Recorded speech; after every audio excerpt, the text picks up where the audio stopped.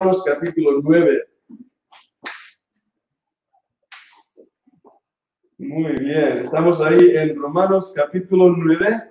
Vamos a abrir las escrituras en este pasaje precioso, precioso del libro eterno. Y antes de leer, antes de profundizar, vamos a orar. Y no quería olvidar de dar gracias a Javi por presidir en esta tarde, de verdad que lo disfrutamos mucho y he disfrutado cantando. Y Ruth también, gracias por haber venido y haber tocado el violín para nosotros. Estás invitada cuando más quieras, mejor. de verdad que sí, una bendición tenerte. Romanos capítulo 9, tener la Biblia abierta en ese pasaje de Romanos capítulo 9, pues vamos a pedir la bendición del Señor Amado Padre, gracias, gracias Padre por estar aquí. Tu iglesia, en este edificio, en este local. Gracias por los himnos que hemos cantado juntos. Hacía tiempo que no cantábamos juntos. Y volver a hacerlo ha sido como alimento para el alma Gracias, Señor, también por los niños que han podido salir, poder tener una clase para ellos. Padre, no, entendemos todo lo que está pasando. Señor, la, ansiedad, a veces incluso, Padre, el, el no saber qué pasará, trae congoja a nuestro corazón. Pero tú, el Dios soberano, el Dios eterno, lo tienes todo en control. Por eso te pedimos, te rogamos, Señor, que tú quieras en tu voluntad perfecta bendecir tu palabra en esta tarde. Que el tema que hablemos sea de bendición para los que escuchan, pero sobre todo que tu nombre sea muy, muy glorificado. Ayúdanos a entender lo que leemos. Te lo pedimos en el nombre del Señor Jesucristo. Amén. Romanos capítulo 9, voy a leer una porción empezando en el versículo 6. Romanos 9, versículo 6. Podéis abrir ahí vuestras Biblias en Romanos 9, 6. Y mientras tenéis ahí el texto, vamos a leerlo. Romanos 9, versículo 6. No que la palabra de Dios haya fallado, porque no todos los que descienden de Israel son israelitas ni por ser descendientes de Abraham son todos hijos, sino en Isaac que será llamado descendencia. Esto es, no los que son hijos según la carne son los hijos de Dios, sino que los que son hijos según la promesa son contados como descendientes. Porque la palabra de la promesa es esta.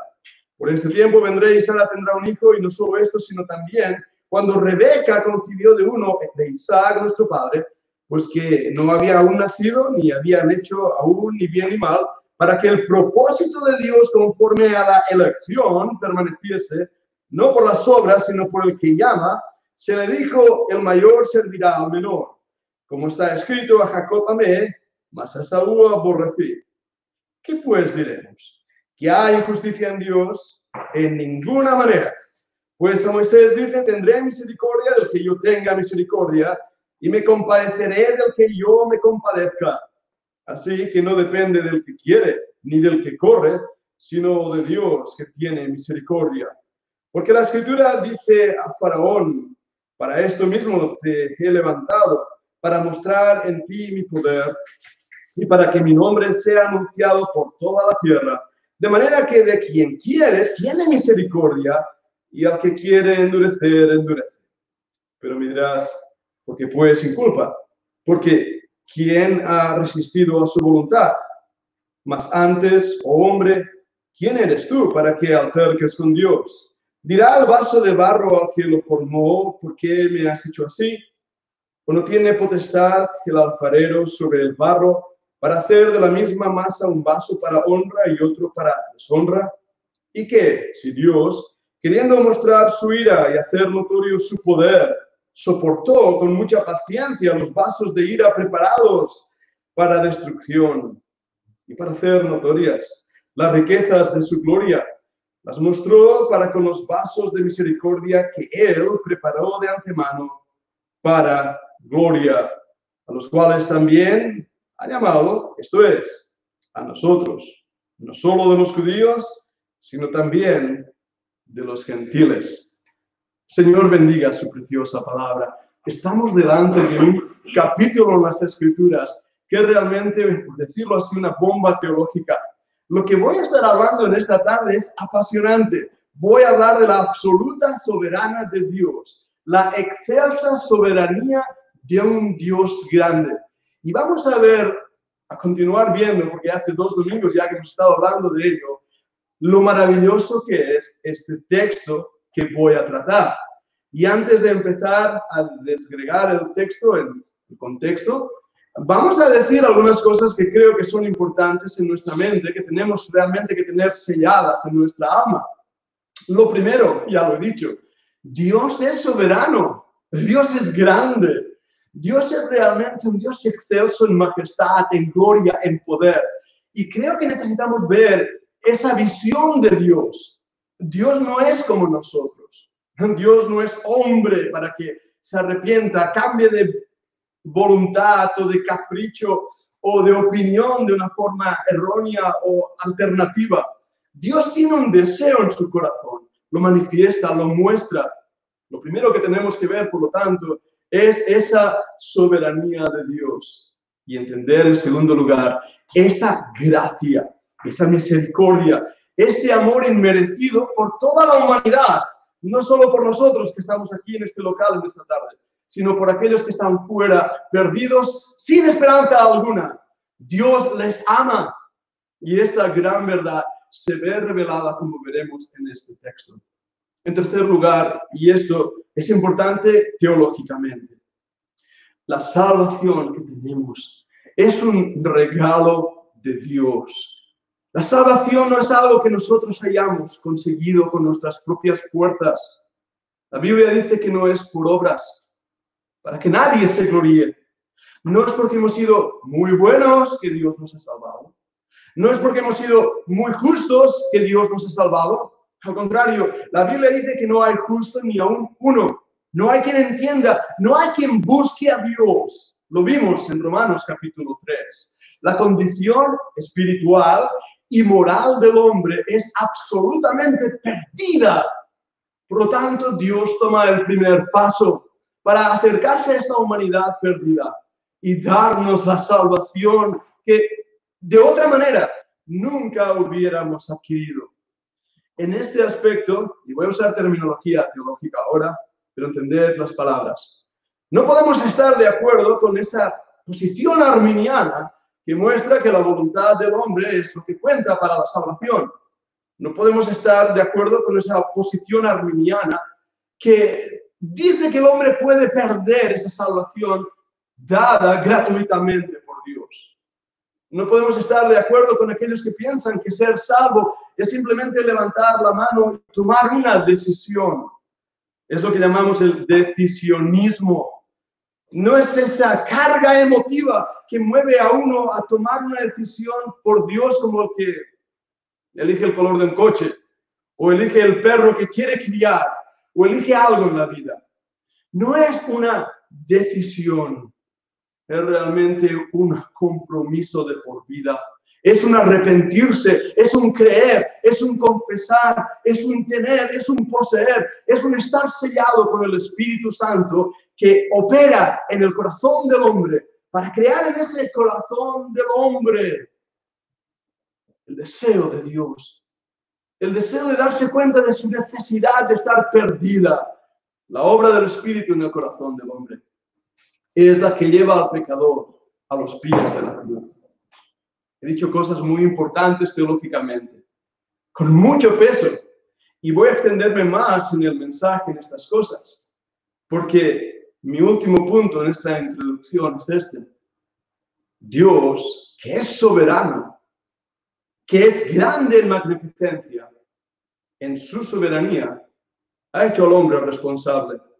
Y negar la responsabilidad de Dios es hablar de un teísmo determinista, de un Dios caprichoso y arbitrario que no ha dado al hombre ninguna esperanza. Ahora, después de esta introducción, volvamos al texto. Y en el texto, como he dicho, ya he estado hablando y compartiendo los versículos ya hace dos domingos, que empezamos en este capítulo 9, y solo quiero remarcar como forma de recordatorio algunas ideas. La primera sección, de los versículos 1 hasta el versículo 3, Pablo manifiesta su amor y su deseo. El corazón de Pablo muestra el dolor que siente por sus hermanos judíos, quienes han rechazado al Mesías. Todo el día extendí mi mano a un pueblo rebelde y contradictorio. Y Pablo muestra su pesar genuino por ver a sus hermanos perderse. Pablo, creo, en mi opinión, manifiesta el mismo corazón de Dios. Jesucristo lloró sobre Jerusalén. ¿Cuántas veces, dijo él, quise recogerte como la gallina recoge a sus polluelos y no quisiste? Esas palabras en la Biblia muestran la responsabilidad del hombre, fuerte responsabilidad que tiene aún, el, no sé qué palabra usar, la, la cara dura de rechazar la salvación que Dios le da. El pueblo de Israel, orgulloso en su corazón, rechazando al Mesías en su decisión, alejándose de Dios. Y Dios le continúa amando, continúa llamándole, continúa yendo tras él como profeta de antaño que perdió a su esposa, que se prostituyó, y él la continuaba amando. Así Dios ha continuado amando a la nación de Israel y veremos más adelante, capítulo 10 y 11, como las promesas dadas a Israel se van a cumplir. Y eso que dicen los siguientes versículos, los privilegios de Israel, las promesas de Israel. Entra después en el versículo 6, en la posteridad natural de Israel va a cumplirse conforme a sus promesas. Y en los últimos versículos, versículos 8 en adelante, el plan de Dios para Israel a través de dos naciones que va a mencionar, Esaú y Jacob. Jacob representando a Israel, Esaú a los edomitas. Y es ese versículo tan extraño que hemos leído, en el versículo 11, lo comentábamos ya anteriormente, ah, perdón, el versículo 13, dice como está escrito, a Jacob amé, mas a Saúl aborrecí. Qué palabras tan duras, ¿verdad? ¿Puede Dios aborrecer a un pecador? Déjame comentar sobre esta palabra, aborrecer. En el original griego, y voy a hablar de griego hoy, no es exactamente aborrecer. Mejor hubiera sido traducirla a Jacob amé y a Esaú amé menos. Es una gran diferencia, ¿verdad Porque cuando leemos en el Antiguo Testamento, y tengo un montón de citas apuntadas aquí en el Salmo 137, 7, los que estáis tomando apuntes, Isaías 34, 5, en Jeremías 49, 7, en Ezequiel 25, 12. Vemos el amor de Dios mostrado a Esaú, a esa nación de domitas, y vemos a esa nación en su rebelión, en su maldad, rechazar a Dios. Por eso es que Dios le da un punto que dice, te amo menos, porque tu continuo corazón es el rechazo de mi misericordia. No es que Dios aborreciera a la nación de Saúl es que los propios actos de esa nación le alejaron de Dios. Y como consecuencia, el juicio vino sobre la nación. Ahora entremos, vamos a estudiar esta parte porque es apasionante en la porción de hoy, versículos 14 hasta el versículo 24. Espero que los petardos no, no despierten a algunos súbitamente eh, ni asusten, así que seguidme. En el versículo 14 en adelante, ¿qué pues diremos? ¿Que hay injusticia en Dios? Buena pregunta. ¿Hay injusticia en Dios? Porque Él tuvo un propósito, porque Él tuvo una voluntad soberana, porque Él tuvo un plan para uno y otro plan para otro. ¿Es injusto Dios? La respuesta bien la sabemos. No. Dios no es injusto. Dios es justo, santo, bueno. Es la definición de Dios. Hay un versículo que dice, Dios es amor, es el carácter divino. Y en base a ese carácter es que Dios opera. Por eso Dios no elige a alguien en base a un sentimiento caprichoso, a este amor y a este aborrezco. Nosotros lo hacemos así. Nosotros tenemos esta facultad humana de ser arbitrarios, de ser movidos por subjetividad. Dios no. Por eso no hay justicia en Dios en ninguna manera. Expresión que vais a encontrar varias veces en el libro de Romanos. En ninguna manera. En griego, megenoito. Es que suena hasta bonito. Megenoito. Cuando no quieres hacer algo, di megenoito. En griego quiere decir en absoluto no, no, no en absoluto. Megenoito. Dios no es injusto. Ahora, esto es importante que lo entendamos. Porque para poder interpretar los versículos que vienen a continuación, tenemos que recordar que Dios no es injusto. Y tenemos que recordar que Dios amó menos a Esaú, a la nación de Edom, debido a sus propios pecados. Y tenemos que recordar que el deseo genuino de Pablo y de Dios mismo es la salvación de la nación de Israel. Esa es la voluntad de Dios.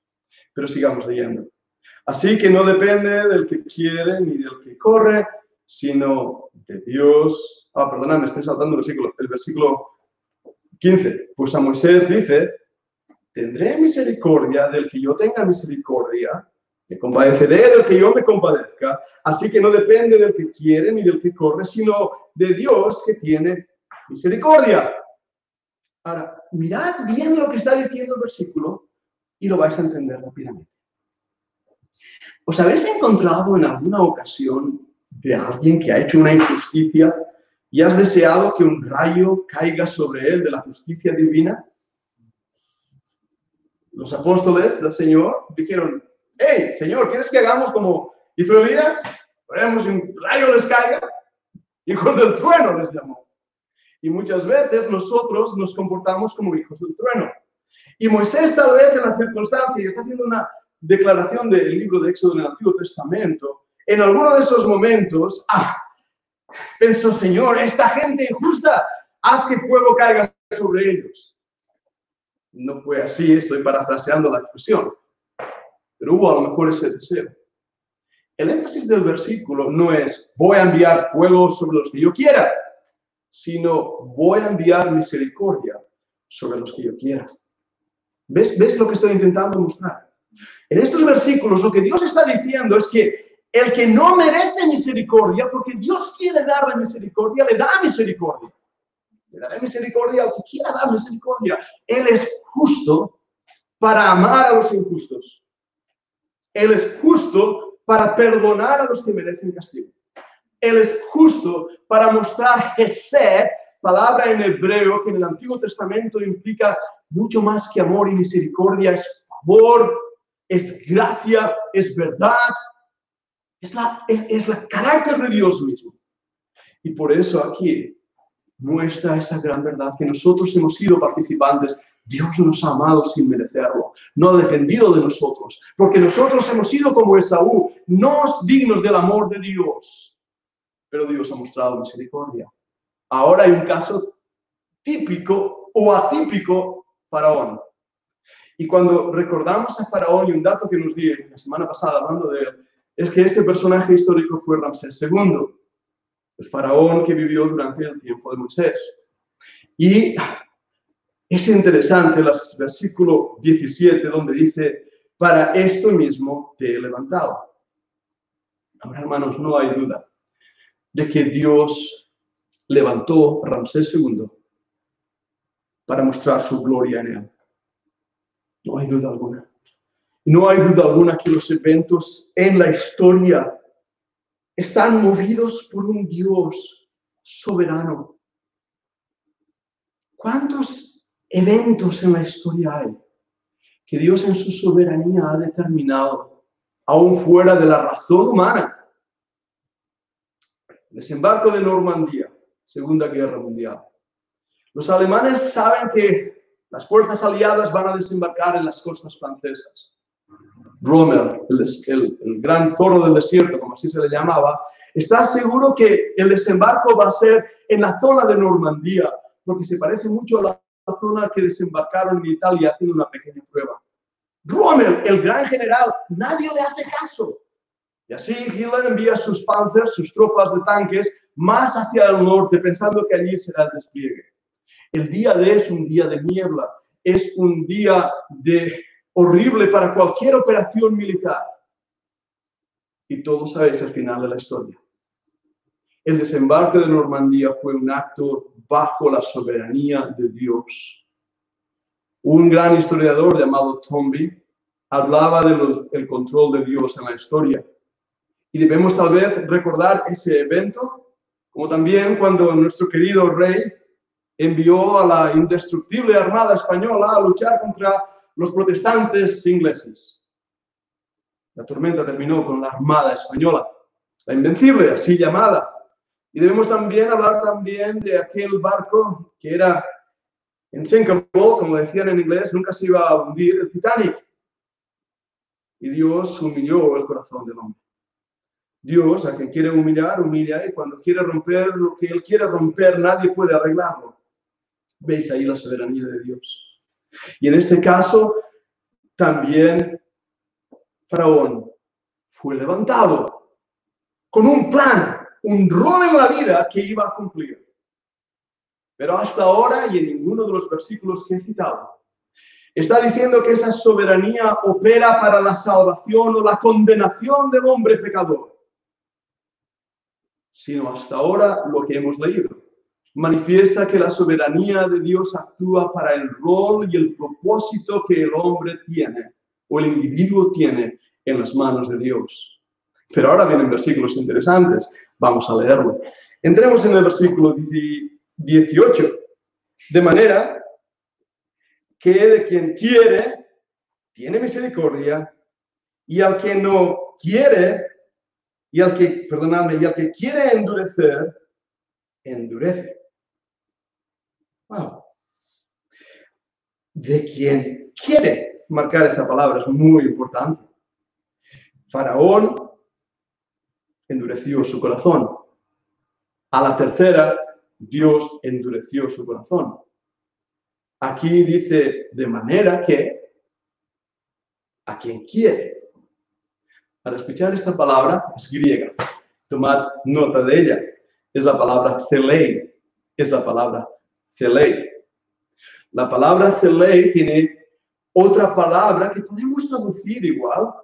Y déjame poner mis manos porque no entiendo ni mi propia escritura griega. Es la palabra bulomai. Tenemos la palabra celei y tenemos la palabra bulomai. ¿Cuál es la diferencia? Celei implica, muestra el deseo de Dios. Por eso dice el que quiere. La palabra bulomai implica la voluntad determinada de Dios, imparable. ¿Ves la diferencia? Aquí no está determinando a uno al infierno y al otro al cielo determinadamente. Eso es determinismo teísta. Aquí está mostrándonos ya empieza y vamos a desarrollarlo más. Que Dios, quien desea, quien quiere, por algún motivo, y esa es la gran diferencia, porque Él tiene un deseo movido por algo, no una voluntad, volumai, determinada por algo, sino un deseo movido por algo. Sigo leyendo. De manera que a quien quiere, tiene misericordia. Al que quiere endurecer, endurece. Pero me dirás, ¿por qué pues inculpa? Porque ¿quién ha resistido a su voluntad? Una pregunta más. Es como si Pablo está teniendo un, uno de esos diálogos con un interlocutor que hace preguntas difíciles. Entonces, ¿por qué pues inculpa? ¿Cuál es el motivo por el cual inculpa? Bueno, antes de responderte a esa pregunta, quiero decirte algo. Quiero decirte, Dios hace lo que quiere. ¿Lo ves? Y esto es lo primero que decía en mi introducción. Dios es soberano. Dios hace lo que quiere. Nadie puede parar su mano y decirle, ¿qué haces? Así que cuando este interlocutor dice esta pregunta, pues, ¿por qué inculpa? La respuesta es, el versículo 20, más antes, oh hombre, ¿quién eres tú para que alterques con Dios? Dirá el vaso de barro al que lo formó, ¿por qué me has hecho así? ¿O no tiene potestad el alfarero sobre el barro para hacer de la misma masa un vaso para honra y otro para deshonra? Esa es la respuesta. Y es una respuesta basada en el amor de Dios. ¿En qué? En que Dios no hace nada arbitrariamente. Dios tiene un deseo movido por una situación. Y aunque Él toma un vaso, hace un trozo de barro y hace un vaso como Él quiere, esto está basado en una enseñanza del Antiguo Testamento. Sabemos que eso es realmente una muestra de la soberanía de Dios, que nadie puede discutir. ¿Lo entendemos? Esa soberanía no hace a Dios injusto. Dios es justo. Bien, Faraón endureció su corazón, Dios terminó endureciéndole. Dios mostró misericordia a los que no eran dignos de misericordia. Las acciones de la misericordia de Dios y juicio de Dios deben ser tomadas juntas. No podemos separar la misericordia de Dios de su justicia. Cuando Dios muestra su voluntad divina en este pasaje, cuando muestra ese deseo, ese ley, está movido y motivado por su propio amor y misericordia. Y cuando leemos el Antiguo Testamento, esta historia del barro las manos del alfarero, que se quebró, que se resquebrajó, entonces el alfarero hizo otra cosa. Y así Dios, el mismo barro que estamos hechos todos nosotros, en sus manos, tiene vasos preparados para la ira y preparados para la misericordia. Y escuchad bien esto, porque ahí entra un conflicto grande teológico, fácil de resolver. Mirad los versículos que siguen. Dice así, ¿y qué si Dios, queriendo mostrar su ira y hacer notorio su poder, soportó con mucha paciencia los vasos de ira preparados para destrucción y para hacer notorias las riquezas de su gloria, las mostró para con los vasos de misericordia que Él preparó de antemano para su gloria. Wow. Vasos de ira, vasos de misericordia. ¿Qué soy yo? ¿Qué eres tú? Barro en las manos de hombre. Entonces, ¿qué determina que uno sea un vaso de ira y un vaso de misericordia? Los que interpretan estos pasajes según el teísmo determinista te dirán que Dios, antes de la fundación del mundo, ya había determinado quién iba al cielo y quién iba al infierno. Ahora, esto, es, muy duro lo que estoy diciendo. Y dejadme extenderme en la idea por unos minutos, porque es muy triste.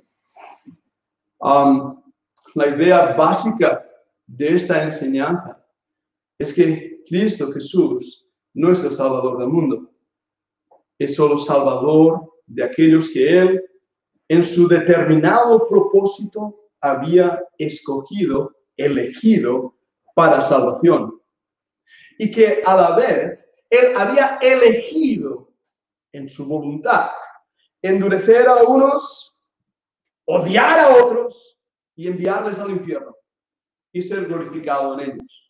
Así que cuando los que creen de esta manera testifican Deben hacerlo realmente según ese orden establecido, diciéndole a Javi, te voy a tomar a ti de pecador, siempre te cojo de confianza, va a decir, Javi, tú eres un pecador, le voy a decirte esto, yo no sé si, si Cristo ha muerto por ti, de hecho, si, si no eres elegido, no, no, ha muerto por ti. De hecho, si, si no eres elegido, tú ya estás condenado, vas a irte al infierno de cabeza y no hay escapatoria alguna, porque Cristo no ha muerto por ti.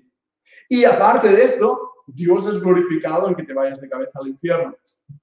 Por supuesto, si dices creer, debes perseverar, porque si no perseveras, es que no fuiste salvo. Ahora sí, antes de ser salvo, como tú eres incapaz, es imposible para ti aceptar el don de la gracia, Dios va a regenerarte primero, va a cambiar tu corazón, va a hacerte nacer de nuevo, y cuando hayas nacido de nuevo, te haya regenerado, te dará la fe que necesitas, porque sin fe no puedes creer y tú no la tienes, así que Dios te la da, el arrepentimiento que necesitas, porque tú no lo tienes, el Espíritu te lo va a dar. Esta es la teología del determinismo teísta. Por supuesto, no predican así. No predican así. Mi amado hermano en Cristo Spurgeon, Carlos Spurgeon, por años abrazó a una doctrina como esta al final de sus vidas, debido a la influencia de un gran teólogo que era amigo suyo. Spurgeon predicó como hoy en día predicamos en esta iglesia, que la salvación es un don de gracia para todo aquel que quiera venir y venga y acepte al Señor Jesucristo como Salvador personal. Dios muestra su amor para con nosotros en que siendo aún pecadores, Cristo murió por nosotros. Escuchaba a un predicador llamado Michel, creo que es su nombre, Michel, ah, conocido, que él, él, se mofaba de aquellos que dicen que Cristo murió por todos, diciendo que la sangre de Cristo es desperdiciada y que eso implica universalismo. Lo siento, hermano, con todo mi respeto, no es así, no es lo que enseña la Escritura. La Escritura enseña que Cristo murió por todos para que aquellos que creen sean salvos y los que no creen sean condenados. Ah, me dirás, pero aquí dice que Dios preparó a vasos de ira. Bien, gracias por repetir esa palabra. Bien. Dejadme aburridos por un momento con el original griego. Y al hacerlo, espero que de verdad podamos aún abrirlo más claramente. Hay dos palabras que aparecen en este pasaje. La primera en el versículo 22. Y que si Dios, queriendo mostrar su ira y hacer notorio su poder, soportó. Marcar esa palabra un momentito. Soportó con mucha paciencia los vasos de ira preparados preparados. Wow. La palabra preparados es catertismena. Catertismena. Suena bonito. Mirad el versículo 23. Y para hacer notoria las riquezas de su gloria las mostró para con los vasos de misericordia que él preparó de antemano. ¿Habéis visto la, la palabra en castellano? La palabra preparó aparece en esos dos versículos. En el versículo 22 es la palabra katerkitismena, pero en el versículo 23 es la palabra proetomasen. Son dos palabras diferentes. De hecho, son dos palabras tan fuertes en griego que, que se ve claramente el significado. La palabra, y voy al versículo 23, que él preparó de antemano, la preposición es pro, antes de, Dios lo había preparado. Desde antes de la fundación del mundo leemos en las Escrituras que Dios nos escogió en Cristo.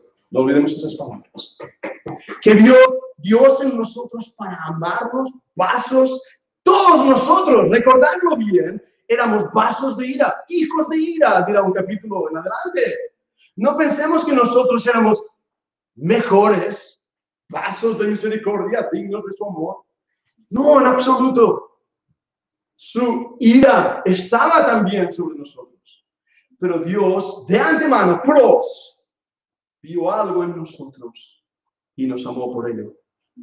Sin embargo, el versículo 23 manifiesta, el versículo 22 manifiesta algo diferente. La palabra ahí quiere decir kata, muestra la intensidad de la acción. Voy a traducirlo de esta manera. Los vasos de ira ellos mismos estaban haciéndose de ira. Y esto sí que es muy aburrido, pero os lo digo. El verbo no aparece en la voz activa, no aparece en la voz pasiva, aparece en la voz media, que para aquellos que sabéis griego quiere decir que ellas mismos realizan la acción sobre ellos mismos.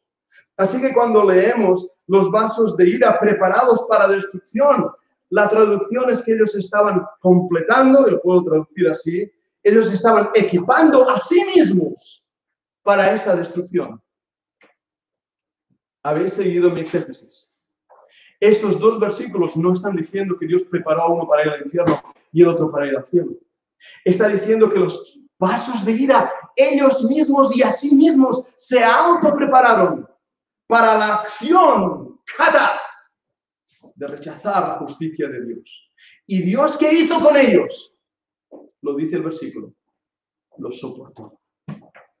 Con amor eterno te he amado, por lo tanto te soporté con misericordia. Jeremías 33.3. Dios muestra su amor para con nosotros en que, siendo aún pecadores, Cristo murió por nosotros. Estos versículos no están diciendo que Dios hizo un vaso de ira para ser destruido enviado al infierno sino que con mucho amor soportó a todos aquellos como nosotros que somos hijos de ira para mostrar su grande amor y misericordia. Hermanos, yo sé que esto que os estoy hoy hablando, incluso me ha alargado más de lo que es común, es difícil de entender.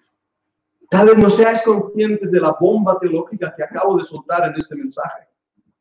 Pero la realidad espiritual de estos pasajes tienen que ser bien entendida para que nadie nos robe el gozo de ver que Dios es soberano, pero que Dios es un Dios de misericordia.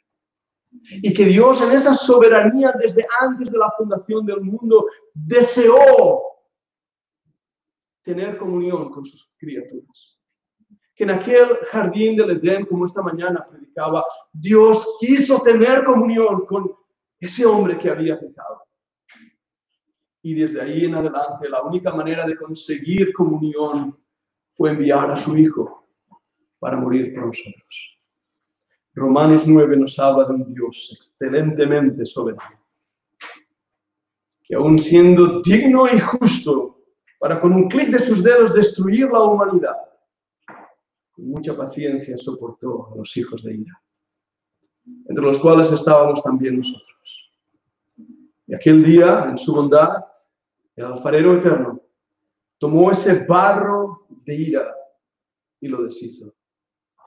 Y en su lugar creó un vaso de misericordia. Y nosotros, nosotros, fuimos hechos conforme a la imagen de Jesucristo. No os conforméis, no os metáis en el molde del mundo. Es lo que dice Romanos 12 sino que nuestra mente sea transformada a la imagen de Dios.